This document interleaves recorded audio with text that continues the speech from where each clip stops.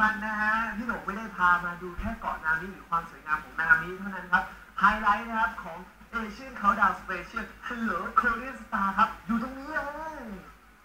นี่ที่เด็ดของเราครับ เราตามดูการถ่ายทำนะครับ โฆษณาของหกหนุ่มวง BEAST นะครับบอยแบนด์ชื่อดังของประเทศเกาหลีเขานะครับโอ้ตอนนี้กำลังทำงานกันอยู่เลยนะฮะเดี๋ยวพี่หนงว่าเราไปดูบรรยากาศการถ่ายทำของ